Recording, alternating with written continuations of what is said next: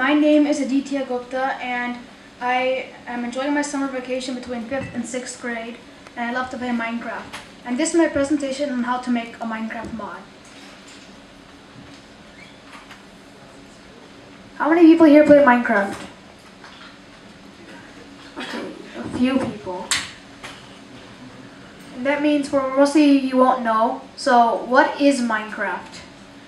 Minecraft is a game where you can place and break blocks. You can mine to find raw materials and craft them into usable items, such as tools, weapons, and armor, which can be very useful in the gameplay because let's say you wanted to mine something, you'd have to have a pickaxe, or if you wanted to dig large amounts of dirt, you need a shovel.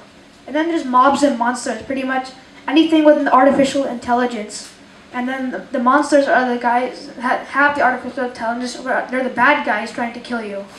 And then there's redstone, which is a logical on-off system that can be used to create very elaborate structures, also very simple ones. So, what is a mod? Well, a mod, they add, remove, or change features of the game, and they can be very small, like making mobs slower, to very giant, like a whole new dimension of 50 new blocks, items, and mods. And there's two types of mods. There's a client side and a server side. Now client side is only for single player and it'll mod your personal Minecraft. But a server side mod is for a server. It won't mod your Minecraft, but it'll mod the entire server and everybody who plays on it. So here are some examples of mods that people have made. There is single player commands, which adds new commands such as slash explode and slash spawn, which it wouldn't be there in the regular game. So let's say you have a bunch of stone and you want to blow it all up. You could use slash explode, but if you were in the normal game and you didn't have that, you have to break it block by block and that's boring. And then there's MC Edit, which makes editing terrain much easier. And that's the one I'm going to demonstrate. And then there's Mo Creatures, which adds a whole lot of new mobs. And like these turtles on the screen that I like turtles, so it'll be pretty useful. So let me demonstrate this mod.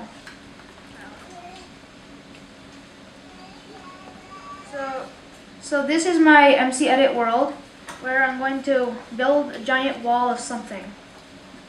So, if I was in regular Minecraft, I'd have to build it block by block, and like I said before, doing that is really boring. So here I can just um, basically set it to how long I want. Let's say I want to make it 200 blocks this way, and then 200 blocks that way. So that's 400. Then I could make it higher, and then fill it with, I'll just fill it with some block of gold. And then I save it. And from past experiences, I know to save it again just in case. And then I'll close this log on to Minecraft. And here I have the world I built.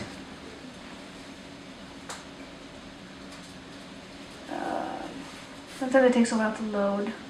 And here I have this giant wall of gold. And nobody likes to build stuff block by block, so, and even if I tried to build this one block at a time, it would take me probably an entire day to do it. So that's that mod. So back to the presentation. What do you need to make a mod? First of all, you're going to need Maven to create the mod template or all the files you're going to use for the mod. Then you will need NetBeans or any other IDE to edit your code and the files you created. Then you will need Java to run Minecraft. Bukkit to run the servers and get the API for the mods. And finally, Minecraft to test the mods. So here are the steps to make a mod. Since you all know a lot more about Java than I do, you're going to have all these programs installed, I bet. So like, the first step is to download the programs, which is like Maven, Java, the IDE, and everything else. Step two is to create a sample plugin, just so you get the hang of it. Step three is to download and start the server. And step four is to start modding it with the Bukkit API. Now here's the structure of a plugin I made, and I think it'd be better if I just showed it, to you in the actual thing.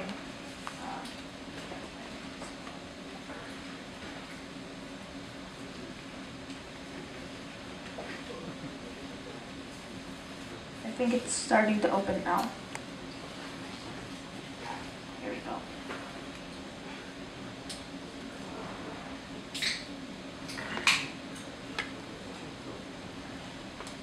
You think I'll just show it in the presentation? Or not, I guess.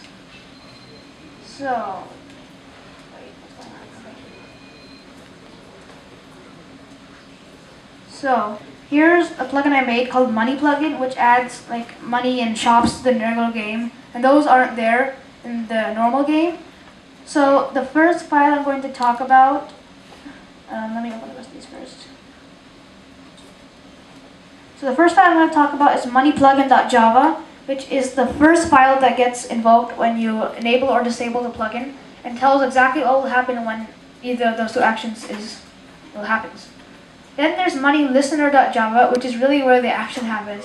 So if I wanted to make it so that if I left click on a sign, it'll give me $5, I'd have to add it in here. So everything that goes on in-game happens in here.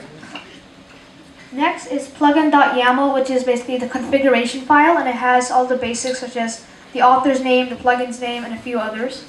Then there's pom.xml, which is, um, it shows the version of all the things they're using, such as Maven and Java and Bukkit. So that's the, that's the structure of the plugin. Now you're going to all know this, but it was new to me, so I think I'll still go over it. The Java files I make go through the compiler and become classes, and that with the YAML configuration file become the jar, which is the actual plugin. So here are some mods that I have made. There's Money plugin, which adds money to the game, and it also has shops in which you can buy and sell items.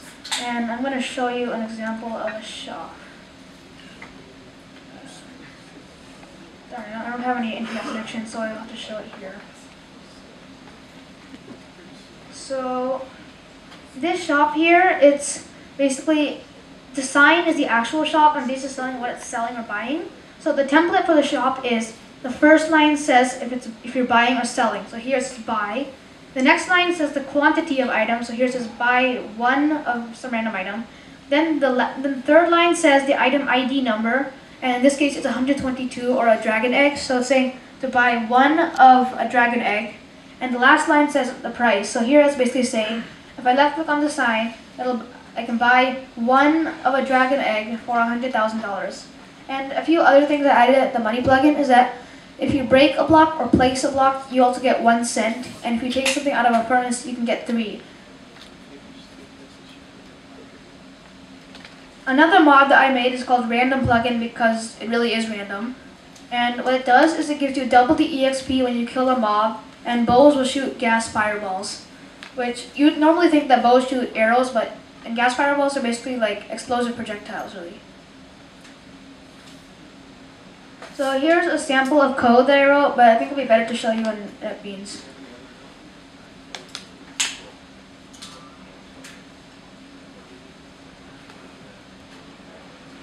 So here I have this method called double exp, and this annotation here shows that it's an event handler and it can handle a certain event. The event it's going to handle is shown here called entity death event or the death of a mob. Here it's setting this variable exp with set at zero. It's setting it to the dropped exp from the mob, and then it's basically doubling it here and setting the dropped exp to that variable, successfully doubling the exp dropped. This next um, method here is also an event handler called evil bows, which happens when you shoot a bow, entity shoot bow event. And here it's making a variable called player of type player, and then it's setting it to the person who shot the arrow. And then it's sending them a message in green saying ribbit because they like frogs. And then lastly, it's getting the player, getting the world they're in, and spawning a ghast fireball at their head. And with the default settings, it'll point the, to the direction that the player is pointing.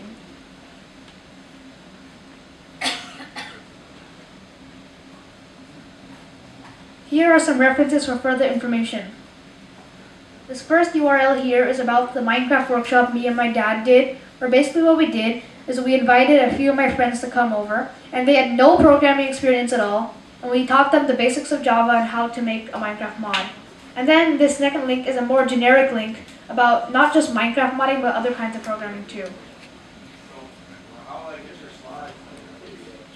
Uh, does anybody have any questions? How do I get your slide? I can send them to you, I guess.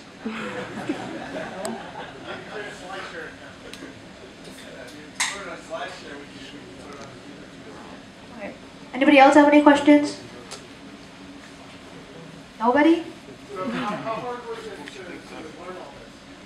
Um, well, it wasn't really that hard, but it still did take a, kind of a lot of time. Yeah.